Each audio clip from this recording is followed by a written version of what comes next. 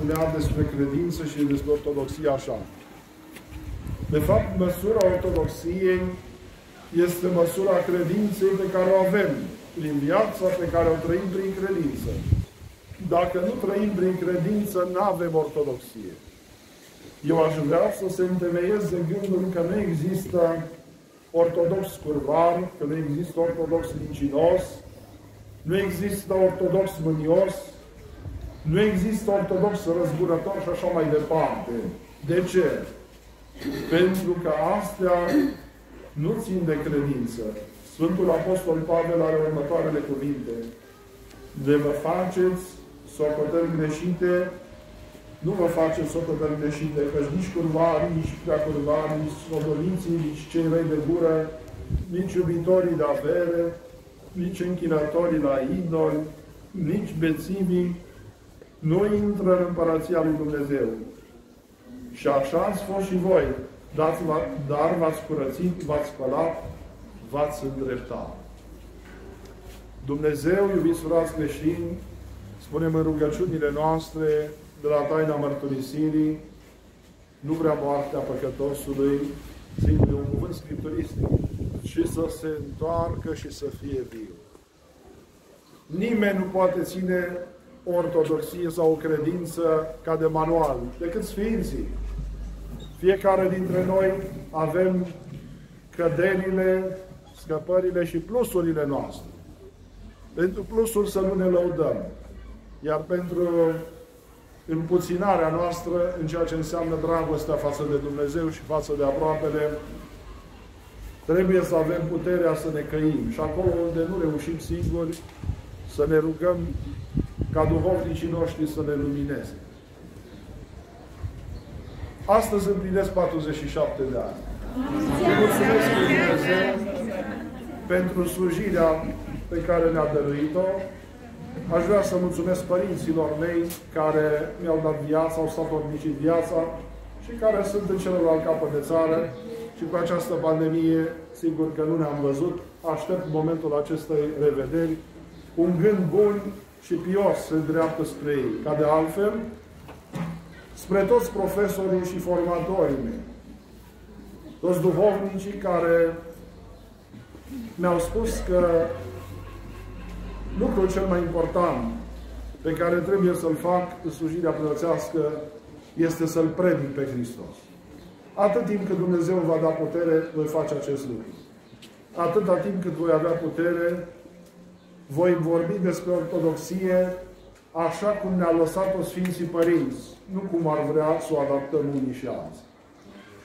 Să vor fi supărat, se vor mai supăra unii. Modernismul are limitele sale. Ortodoxia însă trebuie trăită în Duhul Ortodoxiei. Și așa împlinim atât de puțin din ceea ce cere Dumnezeu de la noi. De ce să mai ciuntim cu bună știință din mesajul acesta al învățăturii?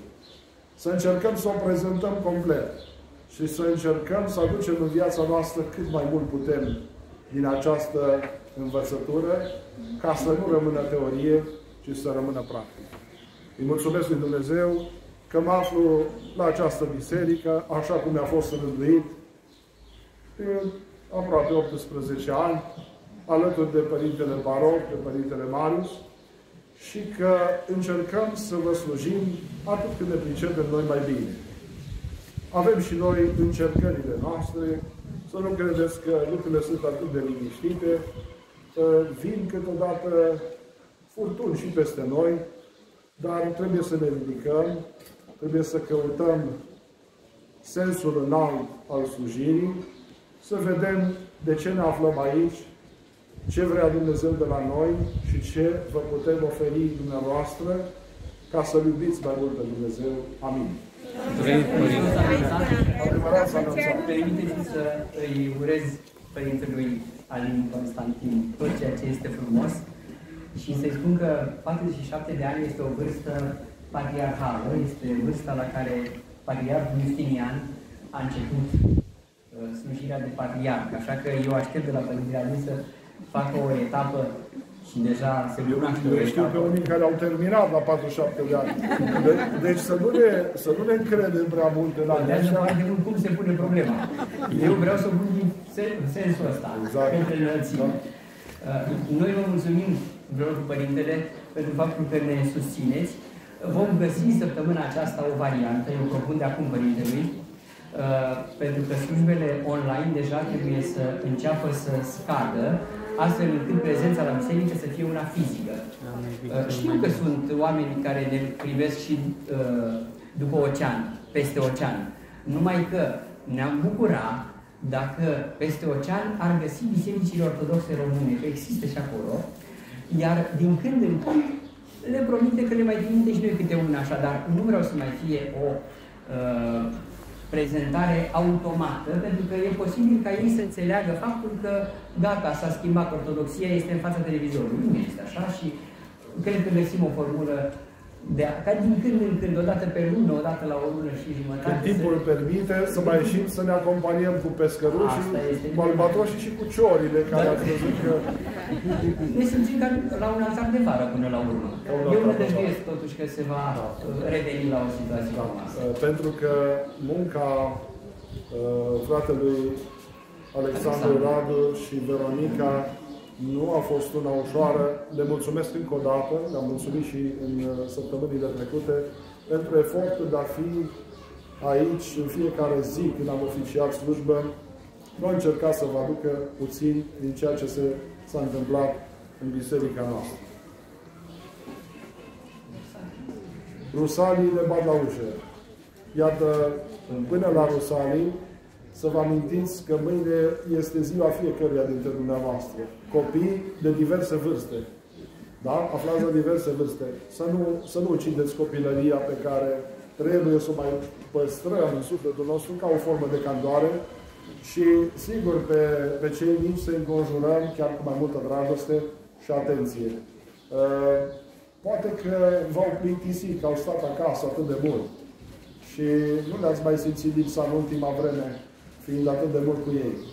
Dar uh, arătați-le că sunt copiii dumneavoastră și că îi iubiți. Dumnezeu să ne ajute să avem o duminică binecuvântată și îl rugăm pe fiul meu cel mic să, să vină să vă și îndulgeați, eu am să vă miluiesc, ca să împlinim uh, toată socoteala. De Rusalii vom, uh, vom fi împreună, probabil, vom sluji aici, tot aici sau, sau în biserică, cum se va rândui până atunci, că nu știu ce ne aduce ziua de mâine ca și reglementări. Uh, sâmbătă dimineața fiind moșii de vară, vom oficia o singură slujbă a parastasului aici afară, la orele 8. Cei care vreți să vă pomeniți moșii și strămoșii și n-ați putut-o face în perioada trecută și la Paștele Vladimilor, vă așteptăm să ne rugăm acum.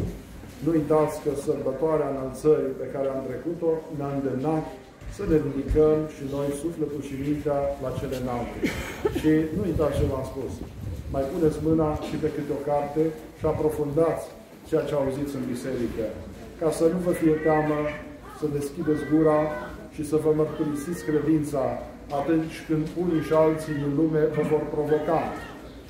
Nu aruncați mărgăritarele voastre înaintea porcilor, dar mărturisire bună, trebuie să fiți în puterea da, ca în felul acesta să mărturisească și Hristos înaintea Tatălui Ceresc pentru fiecare dintre noi. Amin.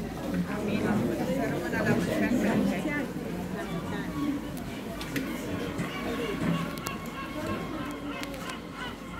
Hristos a înălțat. Adevărat a înălțat. Hristos a înălțat. Adevărat a înălțat. Hristos a înălțat. Adevărat a înălțat.